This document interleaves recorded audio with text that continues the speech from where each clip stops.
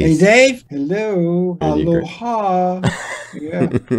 and seeing you yeah. great too, man. So shaka for you, brother. God bless. And uh, great that Say we. what? Sorry. This is the shaka. It oh, it means uh means like uh, hang loose. It's like a when people greet each other in Hawaii. It's just like a common thing to to, to say. It's like, hey, brother, good to see you. okay. Everyone will do it too. It's good to see you. Let's go to the beach. Let's surf. Man, yeah, no, I, I would like to go back to Hawaii one day. How long has it been so since? Uh, years. How long has it been? I've been several times, but. uh oh my goodness, I don't even want to think how many years it is. A long time. Many, many decades. Anyway, yeah, well, this is an exciting, exciting time for you, the Montreux years, which uh, you actually curated and compiled uh, yourself. This is an incredible one. I've actually been poring over this, and you know what else is cool is, and I'm sure you've already realized because of the documentation of this historic stuff, you can also go onto things like YouTube and watch some of it and, and learn a little mm-hmm. bit more. And uh, so before we get into the record, just to make sure, you still joining us from Monaco, same thing, you're at your house, your beautiful house there. And have, have you traveled yes. at all since the pandemic? Um, well, that's since early 2020.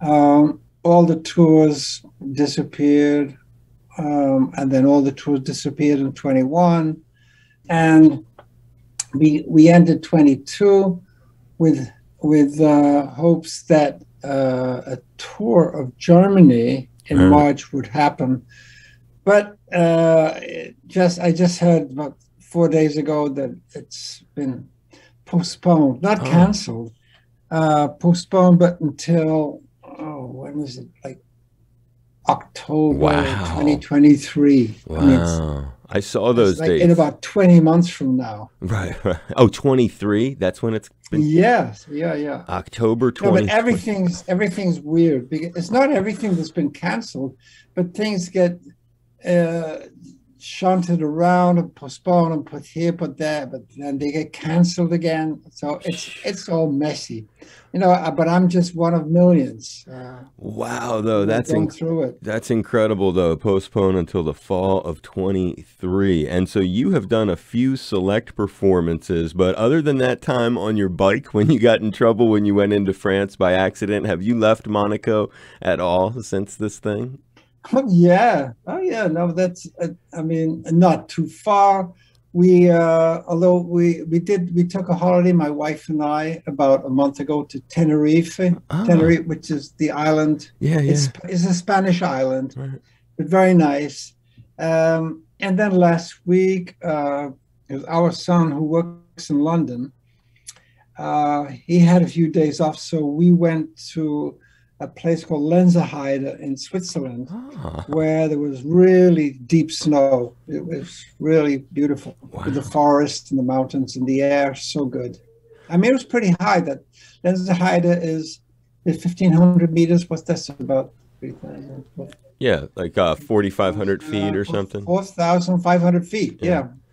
Wow. So those are the two major trips that you've done, uh, except for that bike trip when you got the ticket that time. I got busted. Yeah, I know. That's and, and, to, and to add insult to injury, it was, you know, one of the, both two young cops in the car pulled me over. And one of them said, well, maybe I should think, you know, I mean, you could, you're as old as my grandfather, you know, maybe I should, you know, but hey, the law is the law. you know, so 135 euros. What's that? 150 bucks almost. Yeah. what a comment. No, no, they stopped. They stopped. I mean, it was just a money making machine. They made a lot of money on on that. Yeah, they they did. That's a funny uh, story. But the uh, you know the attitude was was very different in in early 2020.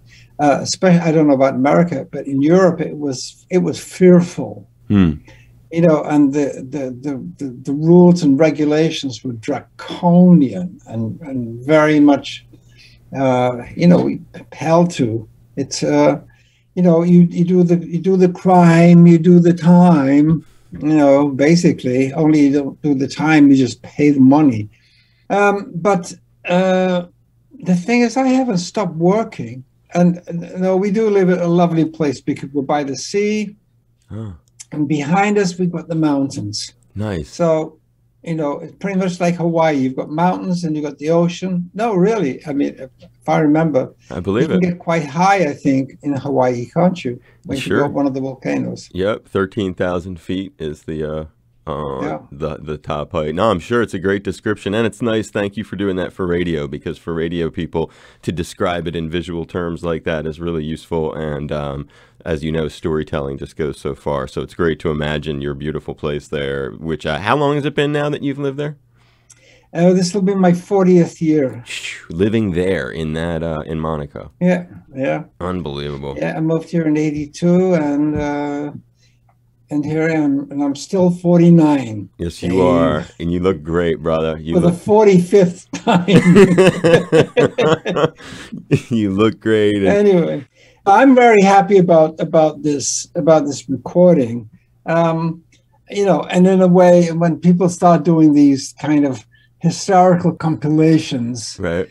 you think, well, you know, well, yeah, you know, is uh, this old timer, you know, but uh, I don't feel I don't feel that at all. I feel uh, I'm very happy about it because of the um, the kind of musical and historical part of it. Mm. You know, uh, I mean, the, well, the record speaks for itself because, um, in a way, it, it, it gives an indication, not the complete picture, but it gives a pretty good indication of the different genres that that that I am so fascinated by in music, Right.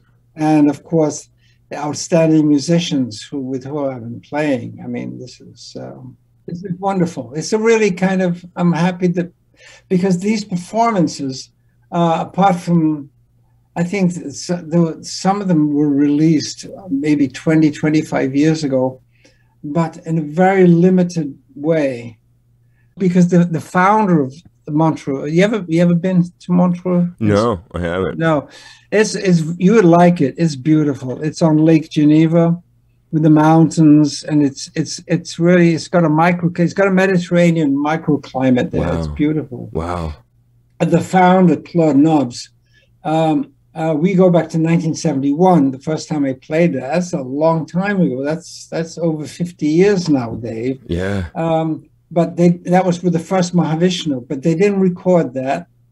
Um, they started, I think, probably around 72, or maybe they did exceptional recordings, but now they they I mean, since I think the early 70s, they record everything. I mean, they've got they've got hundreds, thousands of hours in their vaults.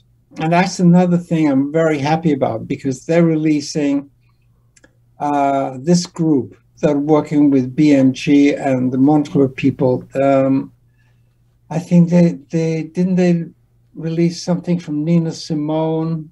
I mean, what what, what a artist she is.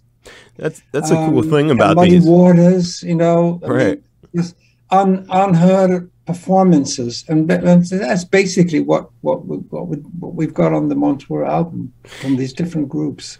So when you went to make the selection, you kind of you mentioned it. John started playing there uh, long before this collection. Basically, the first ones on this are from 1978, uh, and then they go forward from there. And so, what went into making the selections? Because as you've indicated, you started playing there long before that.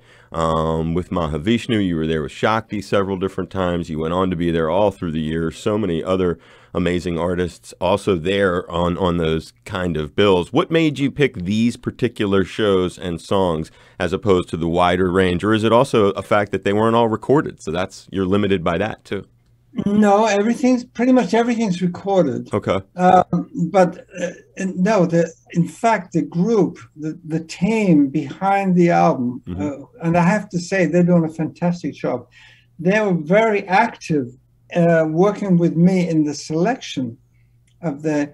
There were there was some particular um, uh, performances that they really wanted, you know, and so I went through I went through all of the their choice, and then I sent them my choice Mm.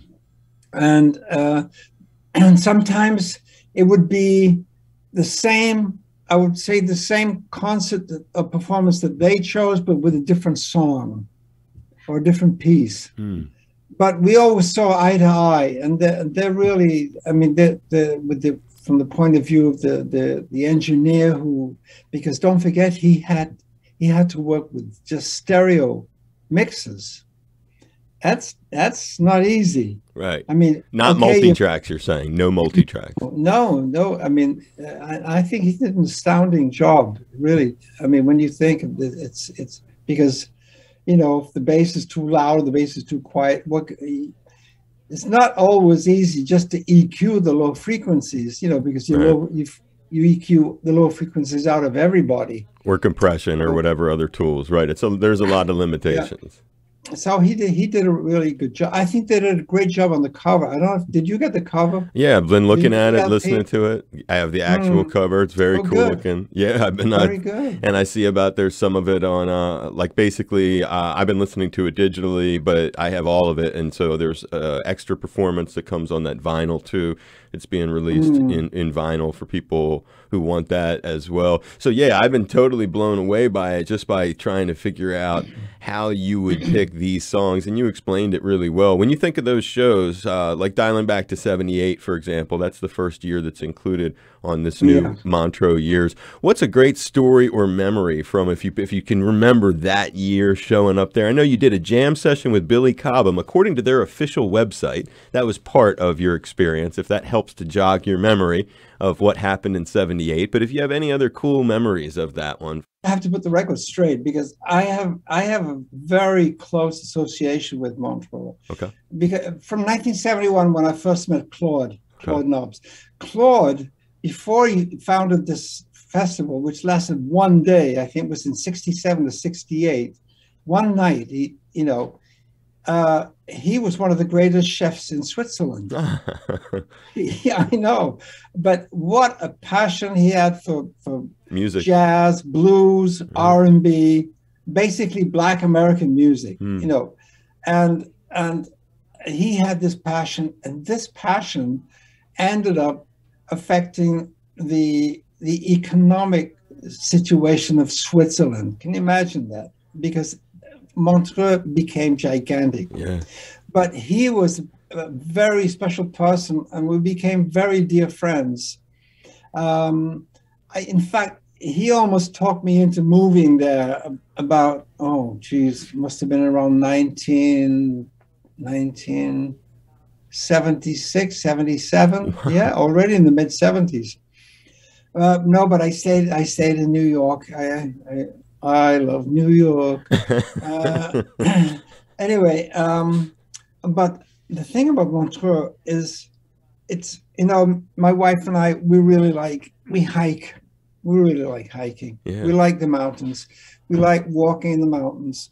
And uh, behind Montreux, there's some fantastic hiking. I mean, beautiful. And for example, you, you go up about 2,000 meters and you know, you come to the to the. It's not the summit, but there's a, there's a valley up. There's a very high valley up there. It's beautiful green in the mountains in the back. But there's a kind of um, cabana, and it's a little, it's kind of shack restaurant where they've got this rough bread, you know, and cheese, and this green wine that doesn't travel that comes from there. And so you get to the top, you know, and you're ready for a little refreshment, and you know, so we we we get pieces of bread and cheese with this green wine and we get set up for the walk down you know and in the evening because i've been going there for, it's part of my life Yeah. uh, dave it's really uh, very much uh, part of my life this association i had with claude i mean when we lost him i was really i was devastated um, but uh, of course, there, there are so many concerts. There are, I meet so many friends there, and and we, you know, we're kind of VIPs, so we can see any show we want. We can go walk in there, walk in there, because there are so many. There's so much going on there. Yeah. If ever you want to take a music holiday, go. To, no, really. The thing is, it's been down since COVID. I should have played already in 21.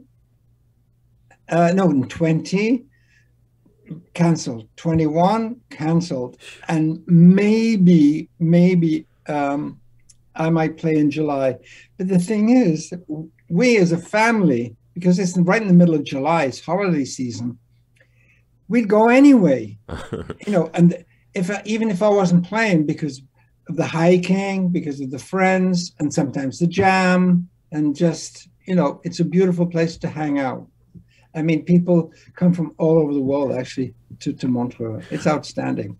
So this connection is personal. Mm. It's it's really a personal connection, and, and I'm very happy that the team who are working on this album uh, are part of that affection, you know, in the history of Montreux because it's such a fabulous history. It really is.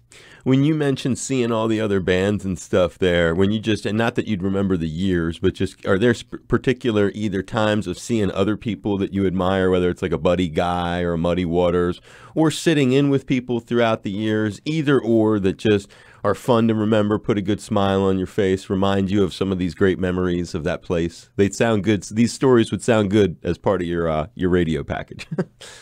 oh, that that's good. It's yeah, it's, that we have stories. I mean, and some, some outstanding concerts. Miles, of course, uh, Muddy Waters. Uh, um, oh, we saw Prince too. That was that was outstanding with his all girl band. Wow, that was yeah, and and I'd always wanted to see him because I, I was always a fan of Prince. Um, but you know the great singers Al Jarreau, Chaka Khan.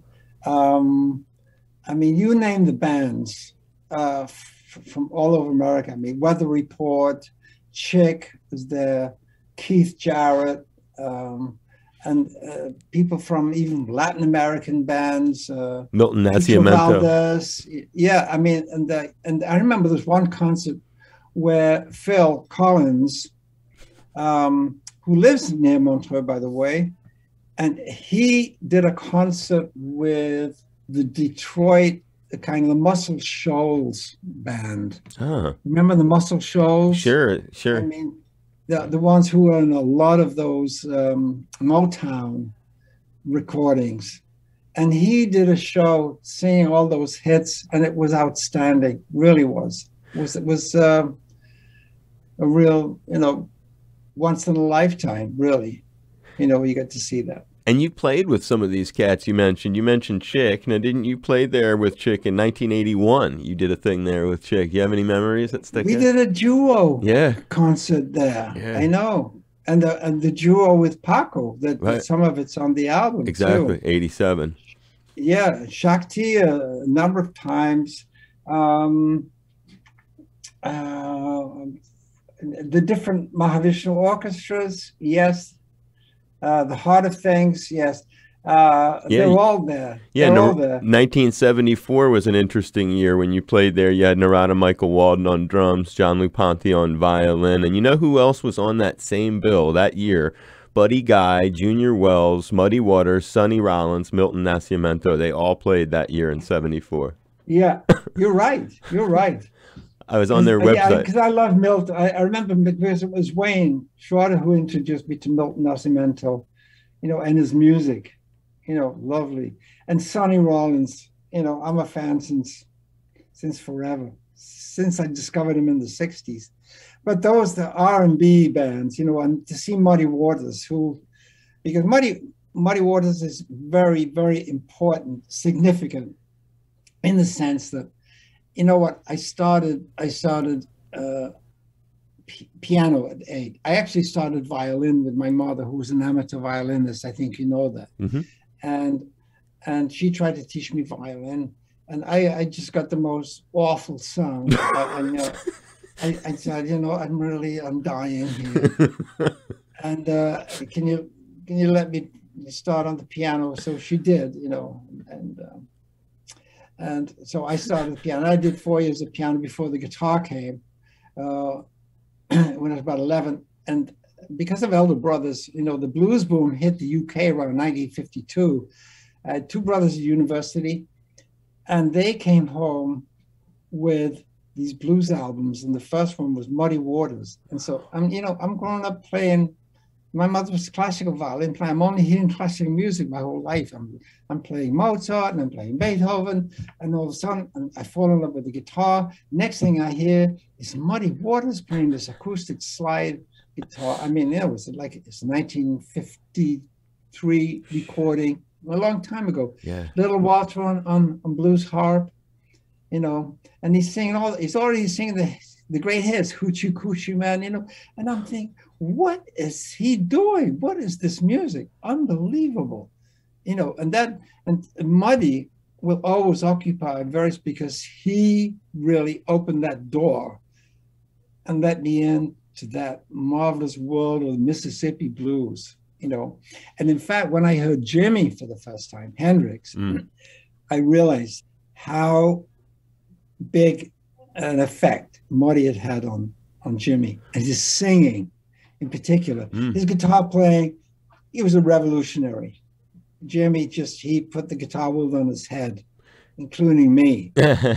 The singing, the singing was right out of Muddy's book. Did you get a chance because of being on that bill and maybe others that I don't know about throughout uh, your life when he was still alive? Did you get a chance to ever both meet him or to tell him about sort of the impact he had on your your dir- entire direction of your life?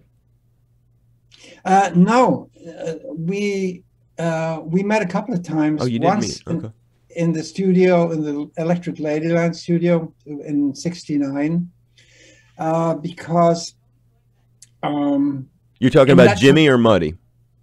uh, Jimi Hendrix. And I, Jimi, I was oh, I was Muddy asking. Waters? No, I never met him. Okay. No, no. I mean, in the in, in the entourage, basically, uh, you know, we'd be in the in the big hall, in the in the, the Stravinsky Hall, and uh, you know, it's yes, you could go backstage, but uh, lots of people there. I get it. So you know, I don't want to bug anybody, but uh, I never got to meet him personally. No. But back to but- Jimi. You can talk about the Jimi, which is very important. What's with your Jimi memories? Yeah, because well, it's because of uh, you know, in the early '60s, I was playing with a band called Georgie Fame and the Blue Flames, and and I left that band to play with Graham Bond uh, organization, which was with Ginger Baker and Jack Bruce, Yeah. and and then Mitch Mitchell came in and was playing drums with Georgie Fame. So we would run into each other, and then and and when I started to play with Tony, I mean Mitch was the, was the greatest, biggest fan of Tony, and every time we were playing, I mean at that time in '69, uh, we were playing basically slugs on uh, down in the East Village, or the Vanguard. Uh, we did a lot of the Vanguard also, sometimes the Village Gate, but wherever we were, and Mitch was in town with Jimi, he'd be in the audience, Wow. you know. And one night, uh, it was at the Vanguard, the Village Vanguard, and and after the show, he said, "You know, Jimi's in, in the studio." I said, "Well, you're you're not in the studio." He said, "Yeah, I'm here. I'm listening to Tony and you, you know, but mainly Tony." You're talking about Tony Williams, by the way. That's who he's referring to. Yeah, to. Tony Williams. Yes, the great, great drummer. Uh, so, I, so he said, he said, yeah, there's Buddy Miles, a drummer called Buddy Miles was playing with him. It's just a bunch of musicians. And so, why don't you come by? So I went by with uh, with uh, Dave Holland and and uh, Larry Young, the, the late great Larry Young, Khalid Yasin, um, just to hang out with Mitch in the studio. And I actually took a guitar and uh, and and tried to jam in there. But there must have been five guitar players, different keyboard players. Who else was on Uh, guitar? Who else played guitar that you remember being there? Oh, uh, people that unknown. I Okay. didn't know any. Okay. I didn't know any of them. I get it. I get it. But I had this big. It was the. I, I had a Gibson Hummingbird, uh, uh, which is a round hole. That's, that's that's like a country western guitar with a DeArmond pickup. On it. Yeah. you know, I that's what I I was using on on the Insi- In a Silent Way album with Miles, Okay. and and I you know I knew I had to get I had to get uh, an electric real electric guitar because because Lifetime was getting loud and I was having problems with feedback, and that was a big problem in the studio because the in the studio with Jimi and the and the and the drums and the basses and the and the keyboards it was like 90 dB, you know, and I tried I tried to play it was it was just impossible. But I got to I got to meet Buddy, who was you know because actually Jimi was in transition between the Experience and the band of Gypsys, Right. and Buddy was in the band of Gypsys, and and Buddy and I became really tight. Uh, what a lovely guy, Buddy Miles, he's talking about. drummer. Buddy Bud- Miles, yes. Yep. And uh, I mean, what he could play some boogaloo, amazing, amazing. In any event, so we started to hang out, and then one day he called me. He said, "Listen, we're playing. We're at the Garden tonight, Madison Square Garden." Yep. and uh, and so I went I went out to hang out and and, and I got to meet Jimi again. Uh, but we never, you know, and I was just I was just happy to meet him and just you know I said what a what a pleasure and, and, and thank you for, for everything you're doing. But I think he must have he must have felt what uh, you know my gratitude to him as a, as a as, because what he did for the guitar. Uh, we still hear it today, don't we? Totally. Was he a fan of yours? Did he mention that he that you had meant anything to him as a? Uh... No, no, he no. Uh, we were sharing uh, uh, the same um, kind of manager, a guy Ah. called Alan Douglas. Yeah. Who, famous dude. yes, yeah, but in a bad uh, way too. Not uh, yes, more, more, more like infamous. yes. um. And I, I know, I know he, I know he didn't. Uh, he, he wasn't. He didn't. He wasn't. He didn't do the right thing. yeah, he was known for taking Jimi's stuff and uh, re-recording it with people afterwards and releasing know, and it. yeah, he did the same with me. He did the same because I had two albums to do, and and he just chop it up and do whatever he wanted.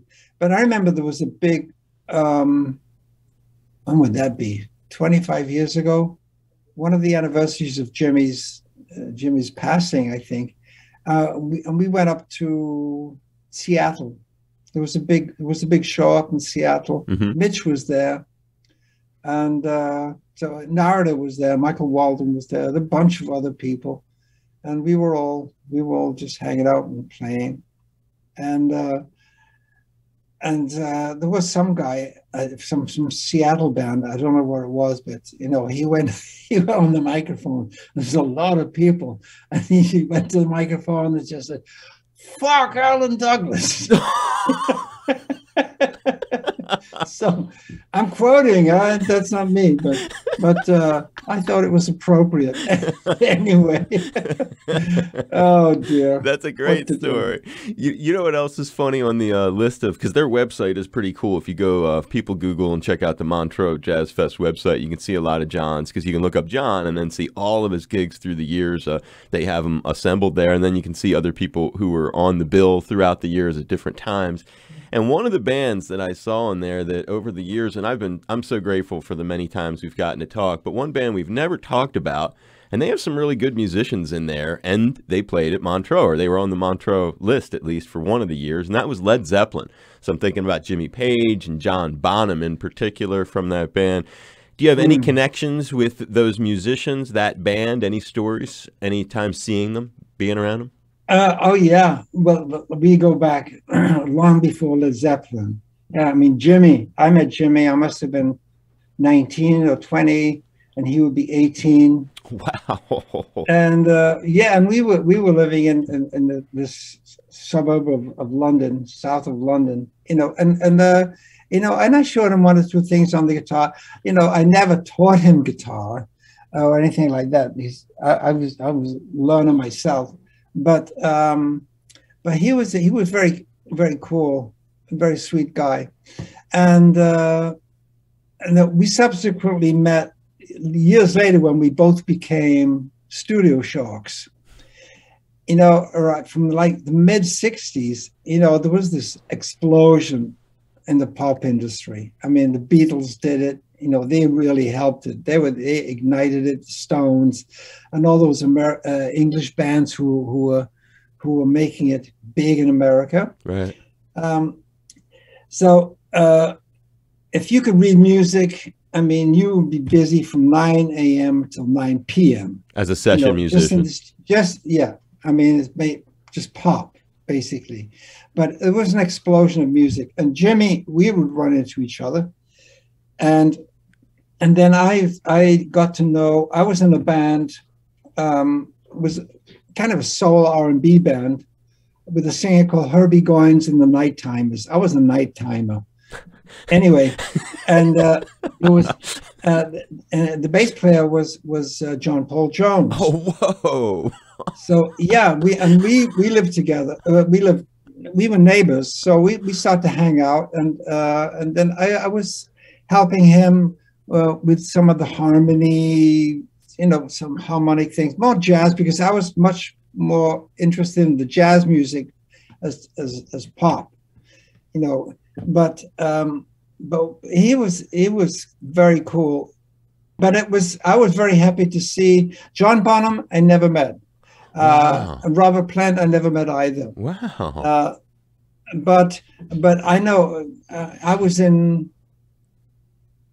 We met up once in L.A. when when when Zeppelin they had a concert there, and um, and and so and um, John Paul called me and and uh, he said, "So uh, why don't you come to the concert?" So I went to the concert. what year is this approximately? Oh man, no, you know you know you got me. Oh, it's so important though. Uh, What do you remember? I'll help you if you can remember any details of anything that sticks out that you saw that was there. That they have bad company. Um, was bad company opening?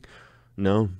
no, no, I didn't see an opening band. Okay. Was it at the Forum, Um, L.A. Forum, big venue? Yes, I think so. Okay. Yeah, it was a big, it was a yeah, there's, there's a big audience there. No, Yeah, it was a it was eighteen thousand seat kind of place. So what happens that you can remember? It, it must have been somewhere like maybe the the mid seventies. when they were huge. They were really big then. so- Oh yeah, oh they were huge. Yeah, Yeah. I mean, they were selling millions of records. and you're Look at- backstage look hanging out with him. Cream did. Right, Look right. what Cream did, you know. And that I speaking of Cream, because um, of course I was associated uh, so closely with Jack and Ginger. Yeah. Uh, but uh, but in, in those days, in the early '60s in London, was a nice time because the, basically there were two clubs. There was the Flamingo Club with where I was playing with Georgie Fame, and then there was the 100 Club, which was a blues club, which was about 300 yards away. Oh, convenient. Yeah, so so you know, and there was this iconic figure called Alexis Korner, oh yeah. Who was a blues man, but he loved to have jazz musician in his band. And he had everybody in his band at one point or another, including me, including Mick Jagger, um, in- including Graham, Jack, Ginger, uh, Long John Baldry. He was in the band. Charlie Watts was in the band.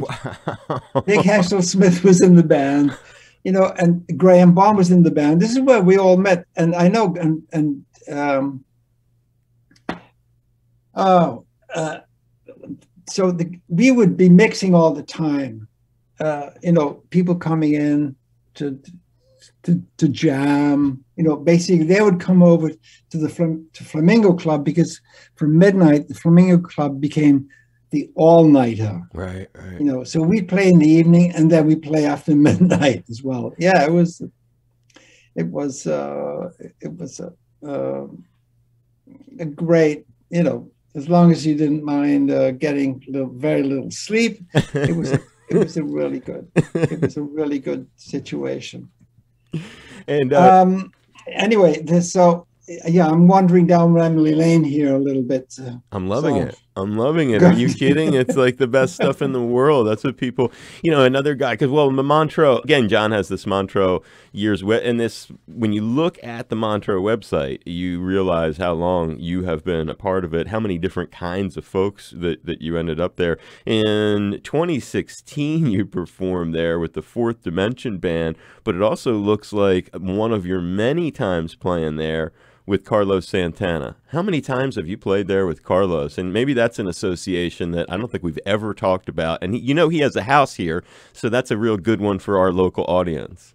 Yeah, I know. Actually, I just uh, we've been in very close touch the last week, Oh, really? and of course, I know Cindy, his wife, very well. Right. You played on her new for a record. long time. Yes, yes, and we've jammed uh, there. Uh, we've jammed in California. We've jammed in in in Montreux. Of course, they played Montreux. Uh, but we've been in touch in the last in the last week because uh, I have a I have a piece I want to record with him and Oh, Cindy, Wow. and and I just uh, I just sent him an MP3, and and so we're going for it. So, but you know, he just came out of COVID. He was he's he's testing negative now, but and he had heart But, uh, surgery too, which is real heavy.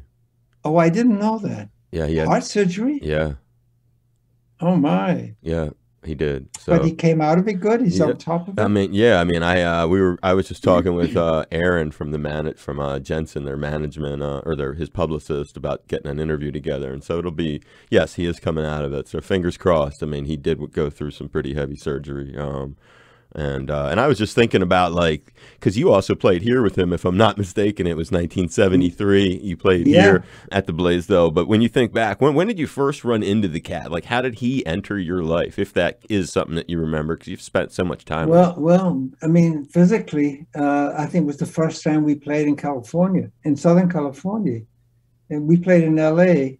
and and uh, we finished the the, the, the gig and and uh, come backstage was Carlos Santana. I said, "Wow, nice!" And he he just loved the band.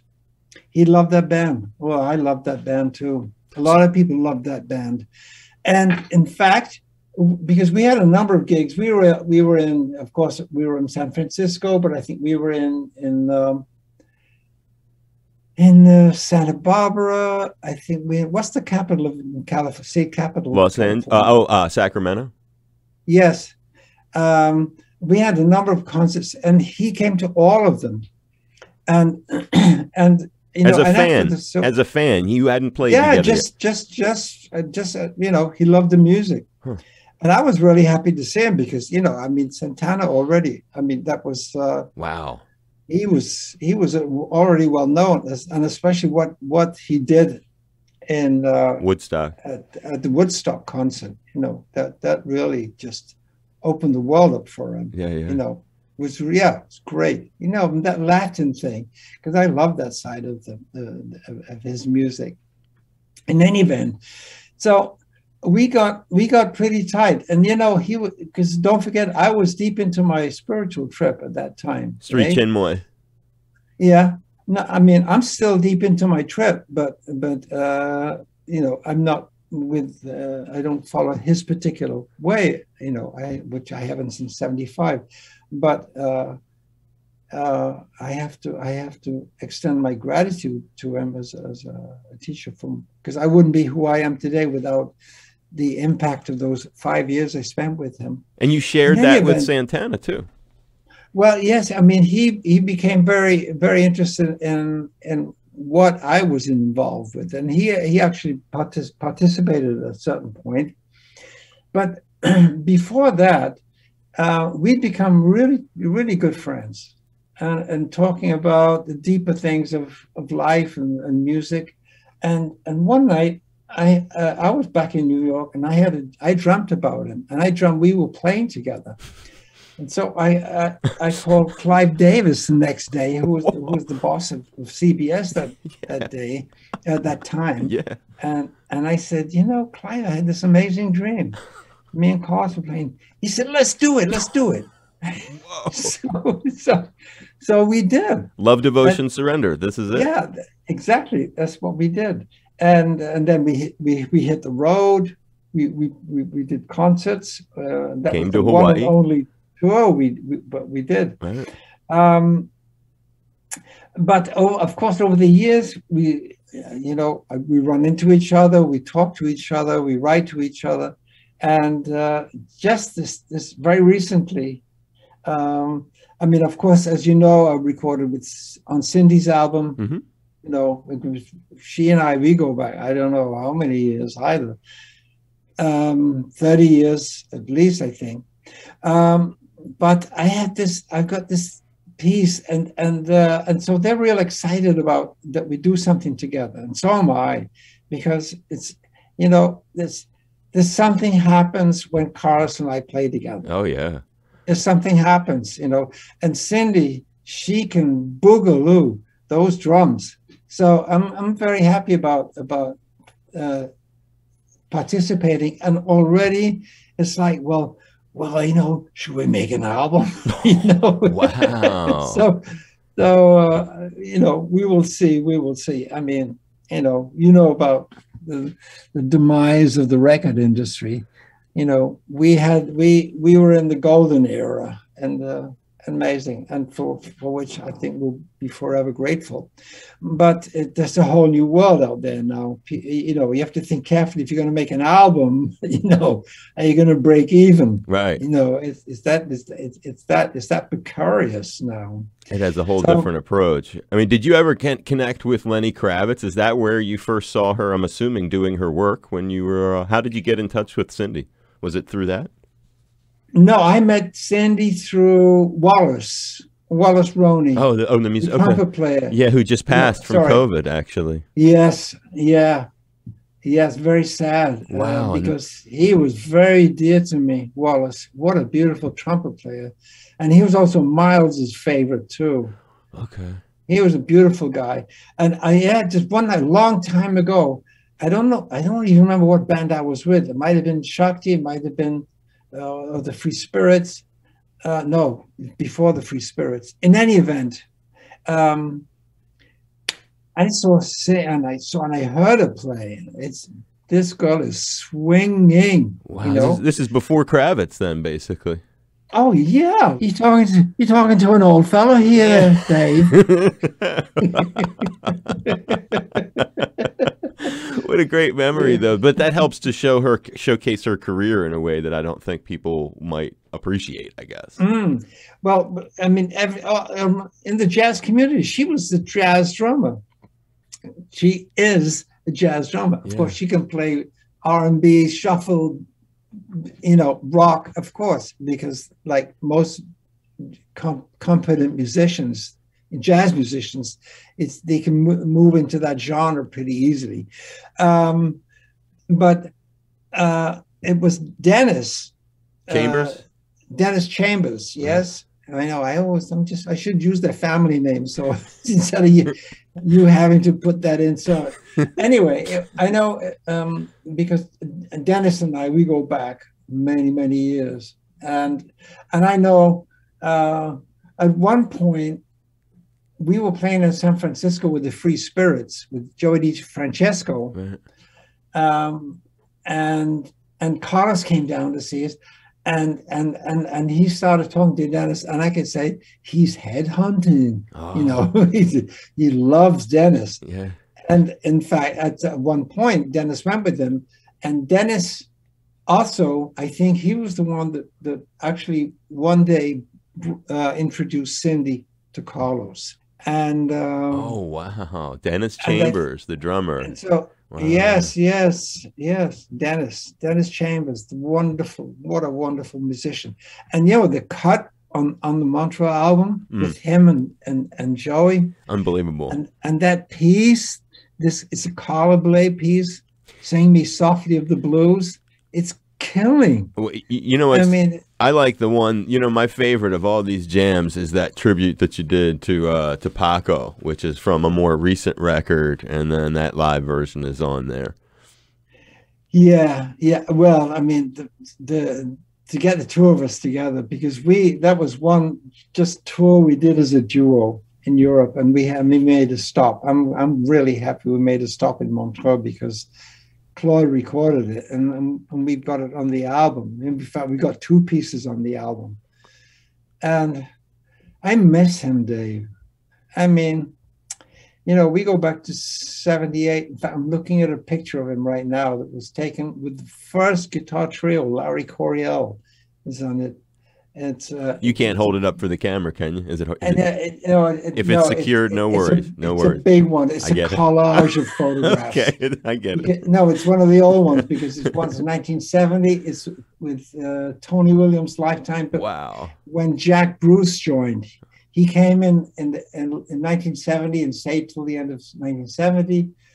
There's a photo of 1973 with me with Sir George Martin in the studio making Apocalypse with the London Symphony Orchestra. What So else I got is a up photo there? with me and Dave Sanborn, Wow. another wonderful musician. Yeah, yeah. And down here, 19, 19, gee, must be 1979.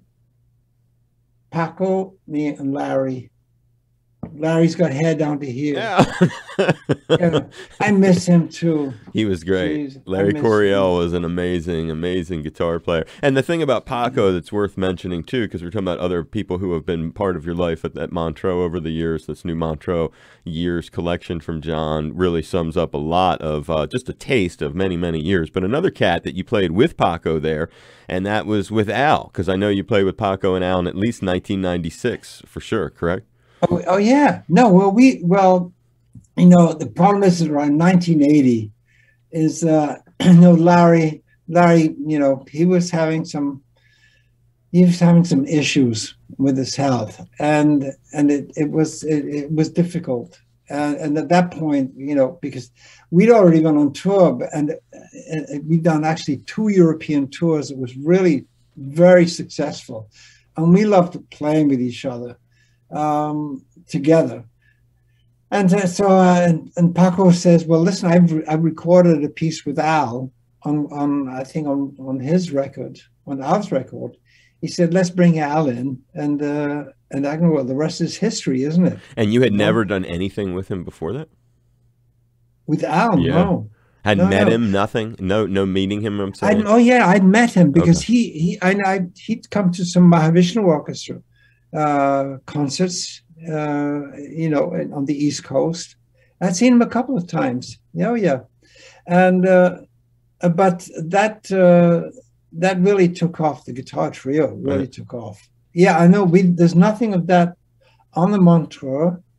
Um, Maybe there'll be volume two, Dave. You is is know. that a possibility? Is that because that's sell enough I, records? That, I honestly thought for sure the way it was set up. That's funny you said that. It kind of looked like maybe you were because there's so much. Like as you point out, how could you possibly? There's not even there's no not one Shakti piece on there. None. You know. And there's two years you played there. Plus you and did we, the. Uh, you, you we've been the, there. Been going there since '76. Yeah, yeah. 70, I know 76, 78, 79, I think eight during the 80s. 99. 90s. Yeah, there's a 99 one there too. Yeah, and the and already in the in the 21st century we've been there. Anyway, well, we'll see, you know, we'll see. It would be it would be nice if it works out. But you know, I'm I'm realistic about about the situation because every musician today is uh, is faced with the hard reality, you know, you have to do just that. That's the way it is. You know, Spotify rules or the other streamers and uh, and you know, and the record companies are making handsomely, and uh, but the artists not so handsomely. You know what Al's been doing to make money? Maybe you could take this idea. So Al has this idea. You can see it online. It's a trip. So Al does these dinners at his house with his wife. Yeah. So they'll have a fan can spend five grand, ten grand. I don't know how many thousands of dollars they they spend to do this, but a fan will buy a night at Al's house. Al, as you know, loves to cook, so Al gets in the kitchen and he cooks up a dinner, and you get to spend time. Yeah, you spend time drinking wine with Al. He cooks you a dinner then you talk to him. You can kind of interview him over the dinner if you want, talk to him about his career. Then after the dinner, he takes you up in his studio and he plays guitar for you.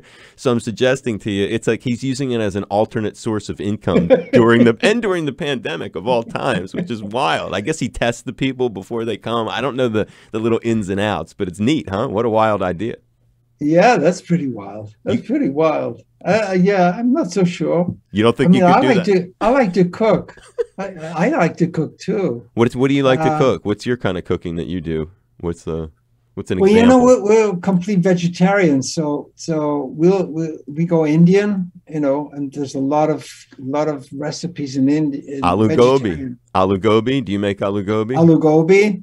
Oh yeah, aloo gobi. There's all all kind. This is North Indian. Yeah, but um, we we like more the South Indian. South Indian uh, is really. I mean, let's say how many people are 1.4 billion in, in India. So figure okay, six seven hundred million are all vegetarian, and they're all doing pretty good. But in South India, it's it's much more vegetarian than North India. Okay and and so there are there are lots of recipes where the the different ways to, to cook vegetables is marvelous just with the spices So we love that. And the pulses, of course, and the different ways to cook rice. But we also, because, you know, we're only uh, 30 kilometers from Italy here. So sometimes we go into have lunch in Italy. I know it sounds crazy. Recently? Uh, yeah, we were in Italy last week. Wow. It's only 30 kilometers away. Yeah, yeah. And but there's you, no borders anymore. And the restrictions are such that you're allowed to just go right in there and, and you can eat and stuff with the COVID. Yeah, I mean, if you yeah, you go into a restaurant or a shop, you have to put a mask on, of course. Okay. Yeah. But in the street, generally, although still here in the street, people still wearing masks in the street, even though it's been lifted. You know, it's, it's people get it's been going on a long time, Dave. I don't know about America, but but people are so kind of accustomed to wearing the, the mask in the street, it's like they feel weird now if they take it off. It's kind of goofy, yeah. You know what I'm saying? This, yeah. this, this is it's it's weird, but this human nature. Me too. You wear I'm it outside. Wearing a mask in the street. You are, huh? Yeah, because, because for the past nine months, obligatory, you know, to wear the mask outside, in the street. Outside in restaurant uh, yeah on anywhere, the street though everywhere. walking on the sidewalk anywhere you were yeah but everybody does it so it's it's become natural in fact what's weird is seeing people without a mask. Unbelievable. what big changes. I can't believe it. And that you just popped that news on us about your tour being blown out, not till the fall of this year, but till the fall of the fall of 23. I know. I can't even. So you're not going to have any live anything until then? Yeah. Yeah. I've got a tour in May organized. And what's that? I don't know. Yeah. This is, this is just Europe. And then um, so the festivals of July so these will happen, you think? you don't know. Inshallah, as they say. I mean, and Maybe. the thing, and it keeps like ending. I thought like the numbers are really coming down. The restrictions. Are... They are. No, no. It's. I think we're on the way out, Dave. I think we're on the way out, but uh, it's you know, it's slow because the numbers went up catastrophically, didn't they? I mean, France, two hundred thousand. Germany, hundred eighty thousand. I mean, daily infections. It was it was it was just outrageous. And now we're much we're getting much lower now. But I mean, lower. It's like twenty five thousand or you know. This is reasonable now. But I just thought there were more tours still happening there. Uh, it just shocks me that they would uh, that it would be so up in the air for you because there's so many. They had stadium shows back on the mainland. I mean, we don't have anything like that in Hawaii. Our restrictions have been much more intense, and we've never had any big shows since the pandemic. A few, a few small club shows with national entertain or international acts, but nothing, yeah. nothing big. But so when I hear about you postponing, so it's only one tour, just to be sure.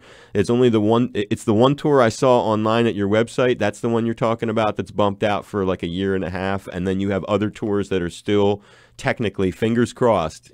Yeah, there's there's the there's European tour in May, and then we'll do the, some of the festivals, okay. European festival, because the, Europe is is in festival time. Is if it's happening, we think it's going to happen. We're much okay. more optimistic these days than we have been since 2019. I mean, you know, everything became very dark from February 2020, didn't it? Well, what you got to do is you call up Al and you say, you know, I just heard the craziest story. say, I was talking to this dude in Hawaii, Dave Lawrence, that I talk to sometimes, and he told me that you're just making a truckload of dough and improving your cooking skills and sharing some of your music with people. And I want to know what the hell are you doing, Al?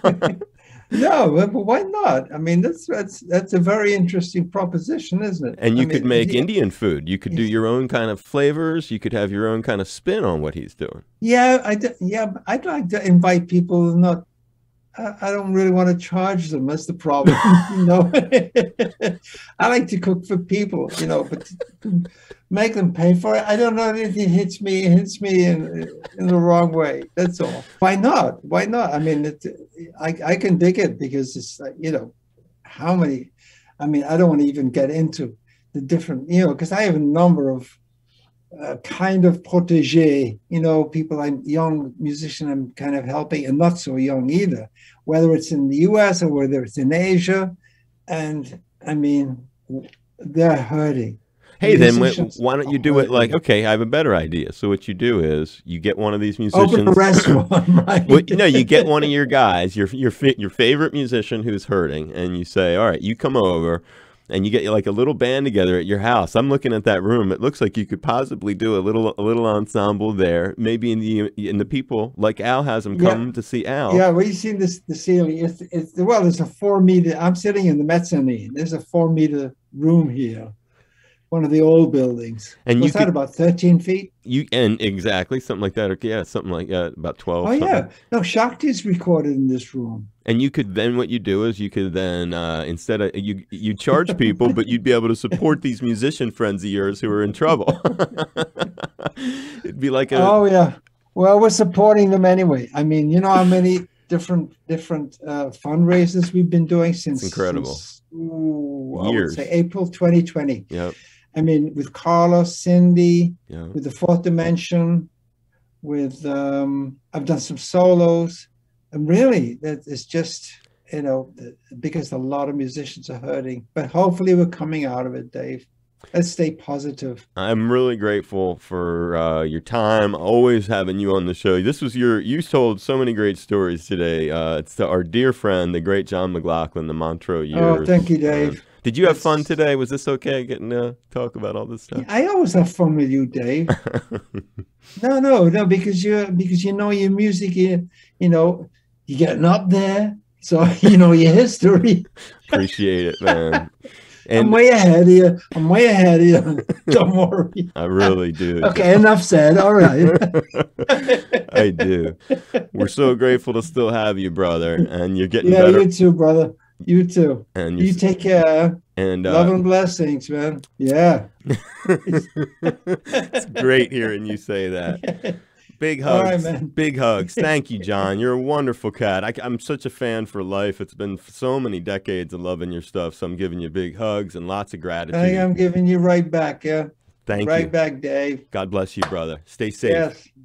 Blessings, Dave. Take Good luck. Care. We'll talk soon. You too. Aloha. Bye. Bye-bye. Bye. Aloha, my friends. It's John McLaughlin here. I am back at Hawaii Public Radio, my favorite radio. It was a blast being on the Off the Road series with Dave Lawrence, but I'd rather be on the road. But this is good to be in Off the Road with Dave. Yes, National Public Radio is what I listen to all my years in America because it's the greatest radio Hawaii Public Radio, we need your support. I always supported NPR because they need it. They don't hassle you, they don't bug you with this, that, and the other. They just make good music, good programs. Help out. Five bucks, 10 bucks, seven bucks, two bucks, anything. We need it. NPR, the best radio. Mahalo.